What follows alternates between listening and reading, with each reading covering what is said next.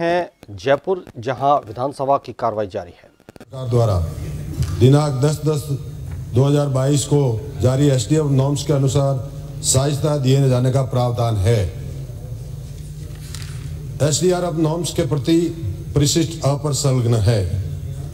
विधानसभा क्षेत्र खेतड़ी में विगत पाँच वर्षों में 2019 से 31 दिसंबर 2023 तक अधिकृत प्राकृतिक आपदा से पशु मृत्यु होने पर 16 आवेदन प्राप्त हुए, जिनमें से 11 आवेदन पत्र एसडीआरएफ नॉर्म्स के अनुसार स्वीकृत कर दो लाख संतावन हज़ार राशि की सहायता उपलब्ध करवाई गई।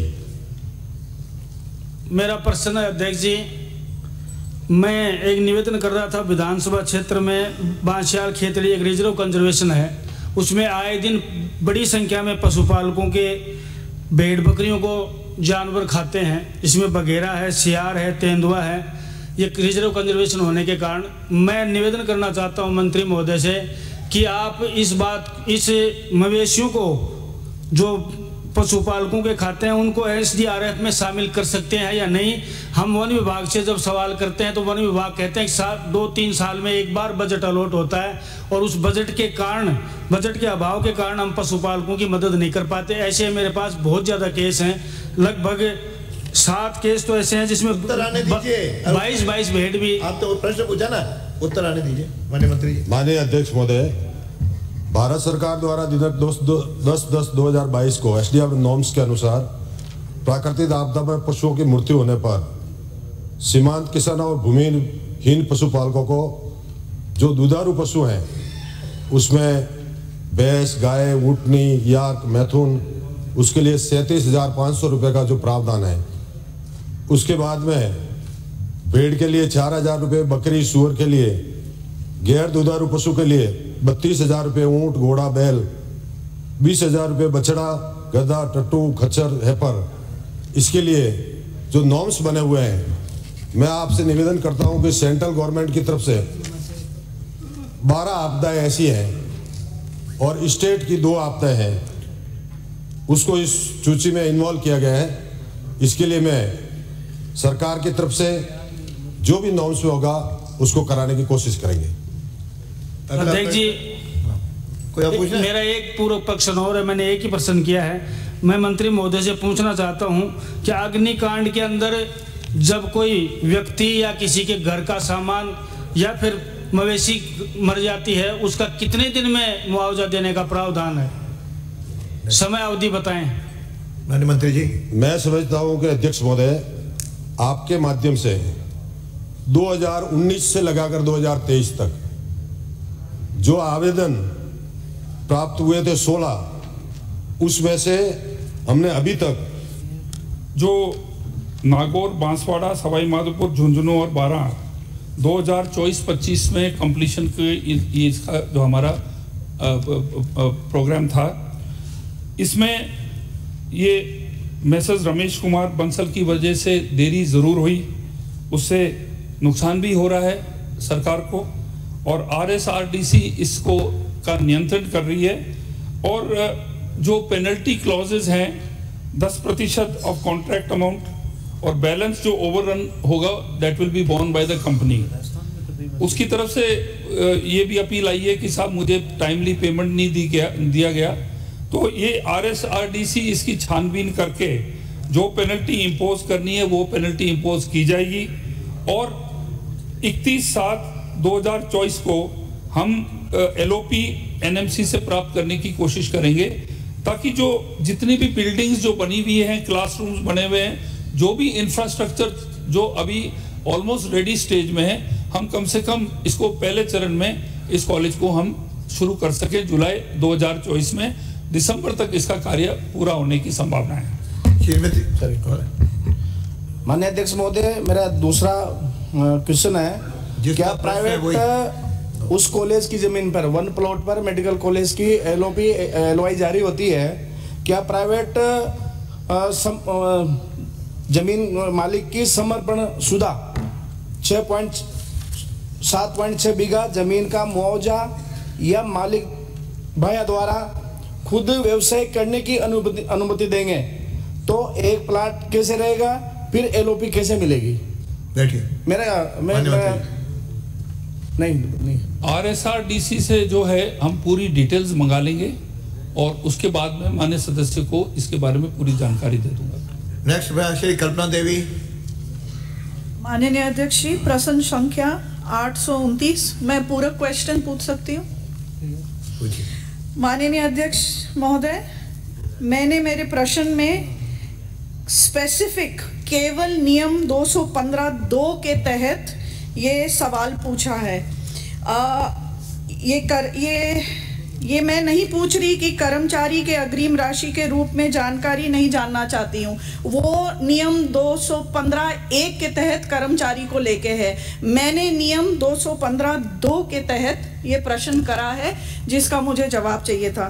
आ, तो इसके तहत मैंने ये पूछा है कि कोटा जिला में किसी भी पंचायत पंचायत समिति व जिला परिषद के तहत किसी भी विनिर्दिष्ट कार्य व सुकर्मों के लिए एडवांस नहीं लिया गया है क्या? पंचायत वाइज विवरण सदन पे रखें। ये मेरे को जवाब नहीं मिला है। मान्य मंत्री जी।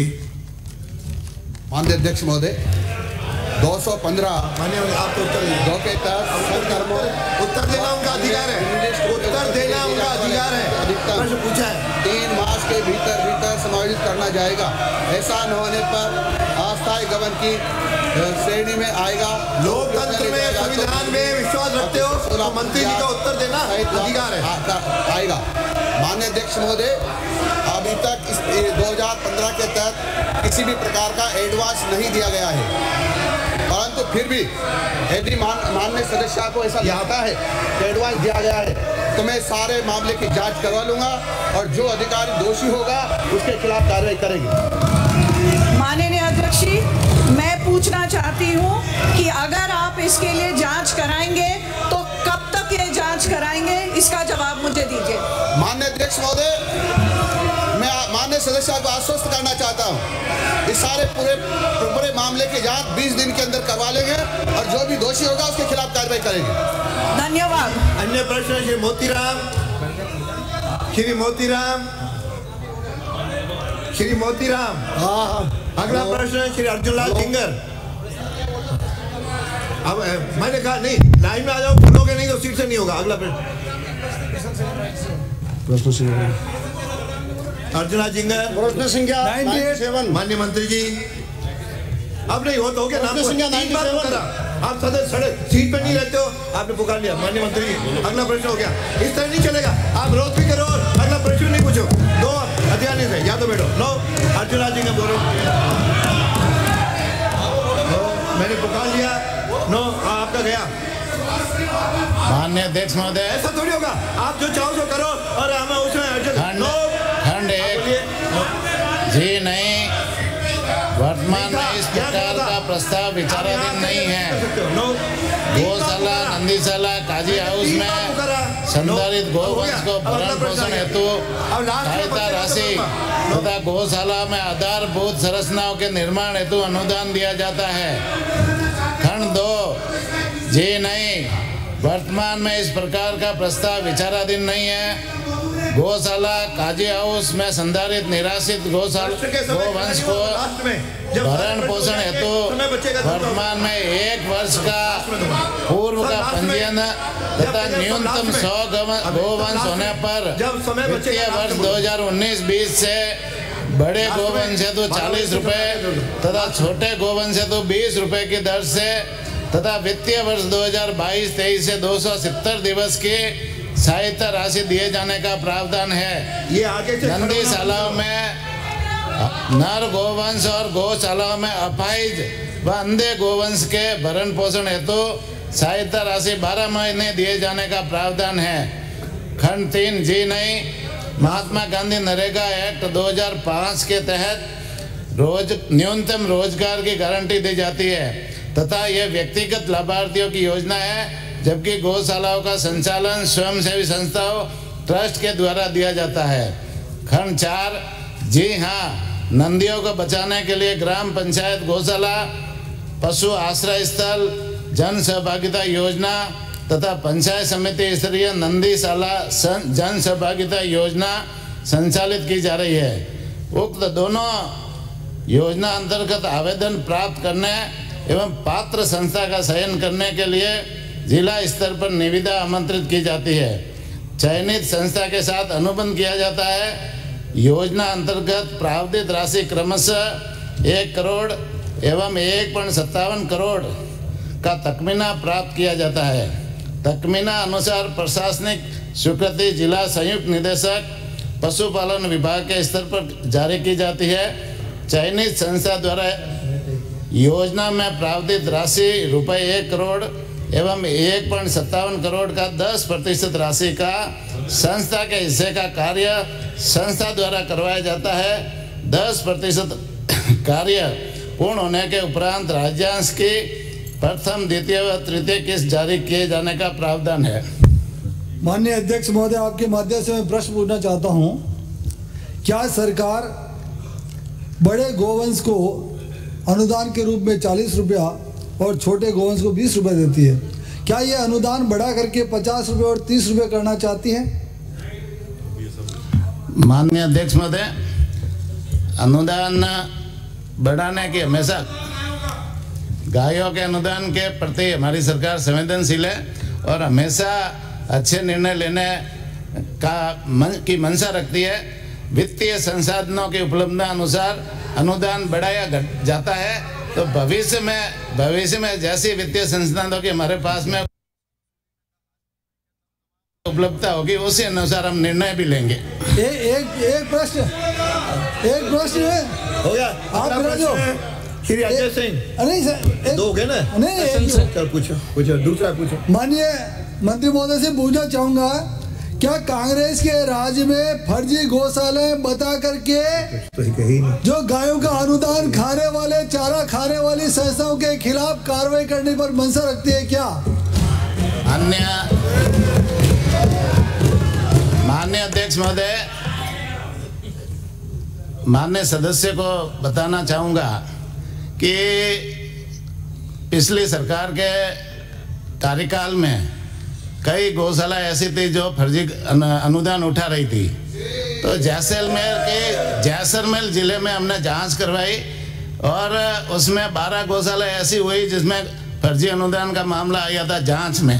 तो उनमें बारह गौशालाओं के हमने लाइसेंस रद्द कर दिया है। और वहाँ हमने पशुपालन विभाग के जो कर्मचारी थे उनको निलंबित भी कर दिया है। और अब पूरे ज़िले की जो गौशालाओं की जाँच के लिए और दूसरे विभाग के कौन कौन से अधिकारी कर्मचारी उसमें लिप्त है उस जाँच को उच्च स्तरीय पर जाँच कराने के लिए हमने मुख्यमंत्री जी को लिखा है और उच्च स्तरीय जाँच की हमने मांग की है शीघ्र ही इसके ऊपर भी निर्णय हो जाएगा। श्री अजय सिंह। धन्यवाद। क्वेश्चन 99 बहुत धन्यवाद मंत्री जी। जी से मैं पूछना चाहता हूँ कि 90 जाँच आप पूरे राजस्थान में कराना चाहेंगे? पूरे राजस्थान में जाँच कराने की मंशा रखते हैं क्या? बिल्कुल। गंभीर विषय है। जैसलमेर जिले- ऐसे लोगों की जाँच होनी चाहिए। 99 अध्यक्ष जी मैं खुद मंत्री जी जवाब दे रहे मंत्री अध्यक्ष महोदय मान्य मान्य नेता प्रतिपक्ष को आश्वस्त करना चाहूँगा कि हमारे पास जैसलमेर ज़िले की गौशालाओं की शिकायतें आई थी इसलिए जैसलमेर का हमने निर्णय लिया है। और भी पूरे राजस्थान में कहीं पर भी पूरे राजस्थान में कहीं से भी शिकायत आएगी तो हम निश्चित रूप से जाँच कराएँगे और दोषियों को नहीं छोड़ेंगे। निश्चित रूप से आपको आश्वस्त माननीय मंत्री जी हो गया। आपने राजस्थान का क्या कह दिया? माननीय आप कह दिया। माननीय अध्यक्ष जी। हाँ माननीय मंत्री जी। अरे माननीय मंत्री जी। माननीय अध्यक्ष जी। अजय सिंह का कौन उत्तर माननीय अध्यक्ष जी मंत्री जी ने अपने जवाब में ये मुझे बताया है कि श्रम विभाग की शुभ शक्ति योजना एवं निर्माण श्रमिक सुलभ आवास योजना के आवेदन बजट के अभाव में लंबित है।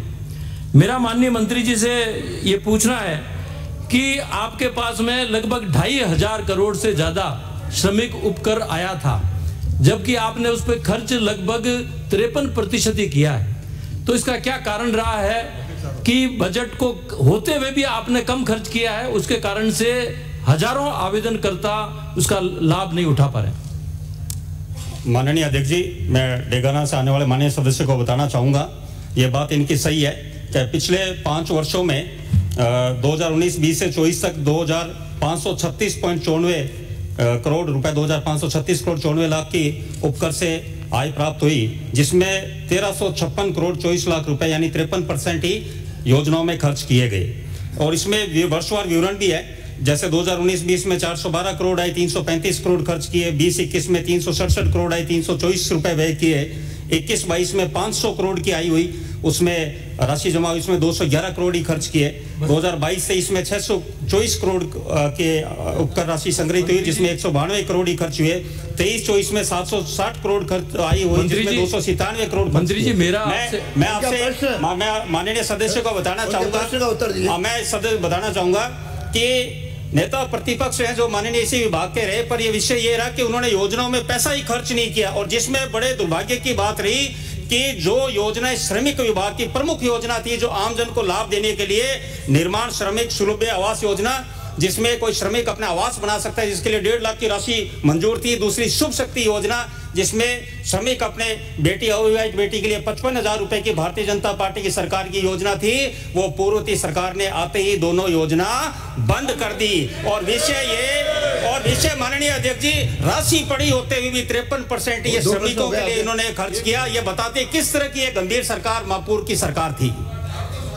माननीय अध्यक्ष जी- करेंगे सुधार? माननीय अध्यक्ष जी मैं माननीय मंत्री जी से ये पूछना चाहूँगा कि जो आवेदन आए हैं उसमें अगर हम उनका आंकड़ा देखें तो रिजेक्शन भी बहुत है। बारह हज़ार चार सौ छत्तीस आवेदन प्राप्त हुए शुभ शक्ति योजना के तहत और सात हज़ार बीस आवेदनों को रिजेक्ट कर दिया गया। चार हज़ार तीन सौ सड़सठ आवेदन अभी भी पेंडिंग है। मेरा माननीय मंत्री जी से ये पूछना है कि आठ साल हो गए। आठ वर्ष से ज़्यादा समय से लगातार आवेदन पेंडिंग चल रहे हैं। और पेंडिंग भी किस कारण से चल रहे हैं? भौतिक सत्यापन के लिए। और मैं मेरे क्षेत्र थामला की एक छोटा देवी मेघवाल है जिन्होंने 2016 में ऑनलाइन अपना आवेदन किया था। और अभी भी उनका आवेदन पेंडिंग है भौतिक सत्यापन के लिए। यह बहुत गंभीर है और इस तरह का कोई भी अधिकारी अगर इसमें आपको यह तय करना चाहिए कि एक महीने में कराओगे दो महीने में। और कम से कम ऐसे अधिकारी को आज ही तुरंत सस्पेंड करें आप जो आठ आठ साल से इसको निस्तारण नहीं कर रहे।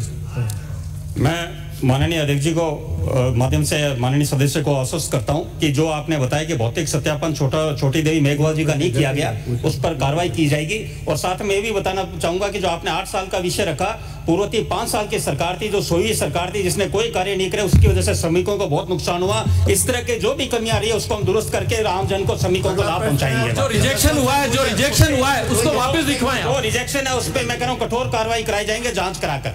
माननीय मंत्री जी से मैं कोई स्पेसिफिक अरे आप आप पूछना पीछे बोले। ये इनको दी अनुमति आपको नहीं दी। स्पेसिफिक क्वेश्चन पूछना चाहता हूँ। तेरह से अठारह और अठारह से तेईस दोनों कार्यकाल में जो योजनाएँ थी, उनमें कितना कितना पैसा आपने खर्च किया है, एक नंबर। दोनों पाँच पाँच साल का आ जाएगा। और जो, अब जो भुगतान जिनका पेंडिंग है, वो आप कब तक कर दोगे? और शुभ शक्ति योजना आज के समय में बंद है तो किस तारीख से बंद है, ये भी आप बता दो मान्य मंत्री माननीय नेता प्रतिपक्ष जी आप यदि इतने सक्रिय होते तो मेरे ख्याल से प्रश्न पूछ मैं तो कह रहा हूँ तो आप सुनिए जवाब सुनिए ना आप अपने मेरे मुँह पे पैसा थोड़ी देंगे। तो आप इतनी गंभीरता आज दिखा रहे हैं आप खुद इस विभाग के मंत्री थे यदि गंभीर होते तो ये प्रश्न पूछने का तात्पर्य ही नहीं होता आपको। प्रश्न पूछने का औचित्य ही होता आपको इस बात का। और आपने जो बात की आपका बात का हम पूरा विश्वास दिलाते हैं कि जल्दी जो आपने प्रश्न राजस्थान की जनता श्रमिकों के लिए उठाए उन पर जल्द तुरंत समाधान हम कराएँगे बिल्कुल। बिल्कुल कराएँगे हम कराएँगे आप आपका अगला प्रश्न श्री श्री जसवंत सिंह गुजर श्री जसवंत सिंह गुजर श्री जसवंत सिंह गुजर माननीय जसवंत सिंह गुजर माननीय अध्यक्ष जी। जसवंत माननीय सिंह अध्यक्ष गुजर जी। जसवंत सिंह गुजर श्री- माननीय नेता प्रतिपक्ष जी ये प्रश्न नागौर का था और यदि आप पूरे राजस्थान का पूछोगे तो पूरे राजस्थान का आंकड़ा लाके देंगे आपके सामने। पूरा आंकड़ा के साथ रहेंगे। नागौर का प्रश्न था उसका बिल्कुल लाके देंगे आपको। अरे और पाँच साल का पूछा पाँच साल का जवाब दिया मैंने। और आप कहोगे दस नहीं पूरे साल का लाके देंगे आपको। श्रीमती इंदिरा।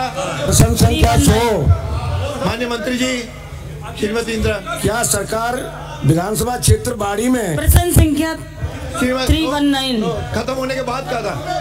बैठिए। श्रीमती इंदिरा का प्रश्न उत्तर दीजिए। आपने प्रश्न पूछे ना? हाँ माननीय मंत्री जी। मैं माननीय मंत्री प्रश्न पूछना चाहूँगी। अरे। तो बोले खड़े नहीं होते। अरे हो रहे हैं हल्ला अध्यक्ष महोदय। साहब भाई ये हल्ला मचाएँगे तो मैं प्रश्न पूछूँगा और आगे बढ़ूँगा प्रश्न संख्या सौ में बोल चुका हूँ साहब। चलिए। श्री जसवंत से पूछे पूछे पूछे बाड़ी सरकार क्या सरकार विधानसभा क्षेत्र बाड़ी में पर्यटक विकास हेतु पंचायती कुदिन्ना पंचायत समिति बाड़ी? क्वेश्चन पूछो सौ। मैं पहले इनका है? ये आप ही का है क्या? खंड एक जी नहीं। विधानसभा क्षेत्र बाड़ी के ग्राम कुडीना में स्थित सुआ देवहंस किले का जीर्णोद्धार करने का कोई प्रस्ताव वर्तमान में विचाराधीन नहीं है। ये किला राज्य के पुरातत्व एवं संग्रहालय विभाग के अधीन संरक्षित स्मारकों की श्रेणी में सम्मिलित नहीं है। ये किला वन भूमि में स्थित है जो कि राष्ट्रीय चंबल अभयारण्य के अंतर्गत धौलपुर करौली टाइगर रिज़र्व के क्रिटिकल टाइगर हैबिटेट का भाग है।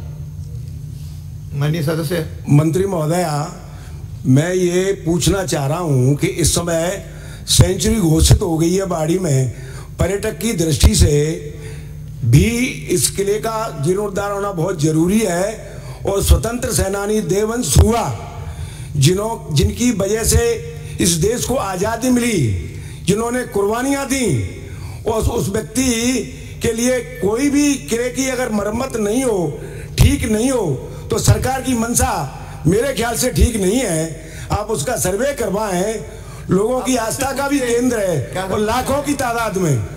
इसलिए मैं आपसे निवेदन करना चाहूँगा नहीं है तो ऐसे नई योजना में। माननीय सदस्य योजना में शामिल करें इसे। इसमें निवेदन नहीं प्रश्न पूछे और आगे इसको मनसा रखती है कैसे शामिल करने की कृपया ये और बताएँ मुझे। माननीय अध्यक्ष जी मैं आपके माध्यम से हमारे माननीय सदस्य जी को बताना चाहूँगी कि क्योंकि क्रिटिकल टाइगर हैबिटेट में ये आता है और ये आर्कियोलॉजी के मॉन्यूमेंट्स में भी नहीं है लेकिन जैसा कि हम सब समझते हैं और मुझे भी लगता है कि बिल्कुल इसमें जीर्णोद्धार का काम होना चाहिए।